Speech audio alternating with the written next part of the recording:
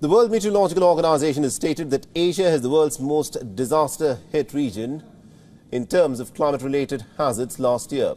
The body has also underlined that floods and storms have caused the highest number of casualties.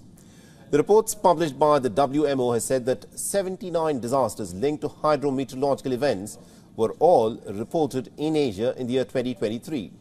And more than 80% of these were related to flooding and storms that caused over 2,000 deaths. It has also shown that sea level rise in the Bay of Bengal off India's eastern coast was the second highest in the region last year. It was nearly about 30% above the global average. East and North India have warmed more than the rest of the country.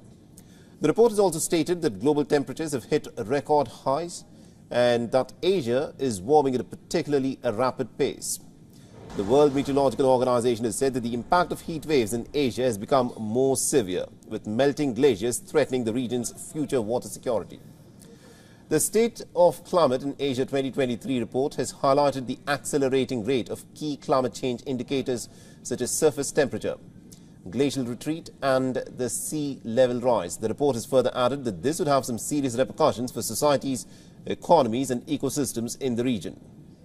Now, the annual mean near-surface temperature, or Asia in 2023, was the second highest on record at 0.91 degrees Celsius above the 1991 till the 2020 average. Particularly high average temperatures were recorded from western Siberia to Central Asia and from eastern China to Japan. And as for precipitation, it was below normal in the Himalayas and in the Hindu Kush mountain ranges in Pakistan and Afghanistan. Meanwhile, southwest China has suffered from a drought with well below normal precipitation levels in nearly every month of the year. And over the last several decades, most of these glaciers have been retreating and, and they've been retreating at an accelerating pace. The WMO has further said that there was an urgent need for national weather services across the region to improve the tailored information to officials working on reducing disaster risks.